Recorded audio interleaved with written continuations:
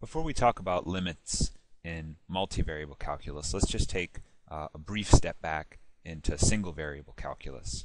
Recall that a limit as x approaches a of some function f of x is equal to some number L if we have the limit as we approach from the left equaling that number L and we have the limit as x approaches that variable a from the right also equaling L. In other words, the left and the right limits have to exist and they have to agree.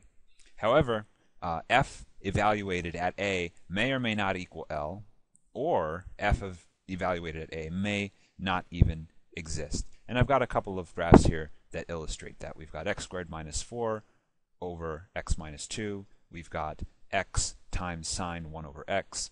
We've got the absolute value of x over x. And then we've got uh, 5x squared.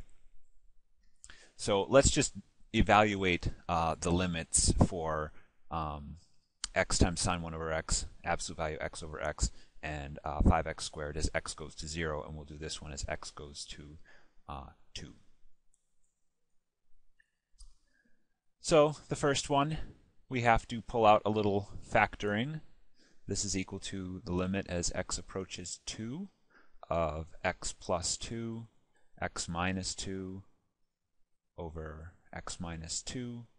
Of course, the x minus 2's cancel, and this is equal to the limit as x goes to 2 of just x plus 2, which is, of course, 4. So we know that exists. However, note that if we evaluate at 2, right, this function f of 2 uh, does not exist because you have 4 minus 4 over 2 minus 2, which is 0 over 0 right? So keep that in mind. The limit exists, but the function evaluated does not. Now, for the second problem, what we're going to do is use the squeeze theorem. And the squeeze theorem basically says that uh, we know sine of any argument is going to be restricted to some number that's between negative 1 and positive 1. So that means that the smallest sine of any argument can be is negative 1. So this is going to be strictly greater than limit as x approaches 0 of negative x. And the largest sine of any argument can be is going to be positive 1. So this is uh, limit x goes to 0 of positive x. I'm writing the plus just to make it explicit. Um, obviously, this limit goes to 0 and that's less than or equal to this unknown limit, and this also goes to 0. So the only number that is simultaneously uh, less than or equal to 0 and greater than or equal to 0 is itself 0, and we know that the limit of uh, this function, x times sine 1 over x, is equal to 0. Let's see. For the absolute value function, note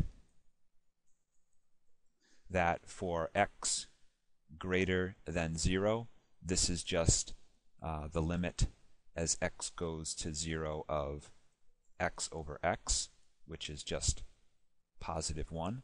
But for x less than 0, this is uh, the limit as x goes to 0 of x over negative 1. I'm sorry, x over negative x. And this is, of course, negative 1. So the left and the right limits do not agree. And of course, uh, f of 0 itself does not exist, hopefully for obvious reasons, because it's 0 over 0. Lastly, we come to this happy polynomial. Uh, very easy to evaluate. Uh, there's no discontinuities. There's no uh, weird um, piecewise functions happening. We can just evaluate this function. It's 5 times 0 squared, and it's just 0. So the limit exists, and it's equal to f of 0, which is also 0. So everything works out nicely for the polynomials. Okay. The key here, and we'll go back to this picture, is that in single variable calculus, we can approach from the left and we can approach from the right. And that's that's all we can really do because we're limited to the x-axis only. We can approach from the left, we can approach from the right. In the next video, I'm going to show you what happens when we have some um, problems where we're now working with three-dimensional functions, and we can approach from any path we like along the xy plane. Uh, so stay tuned.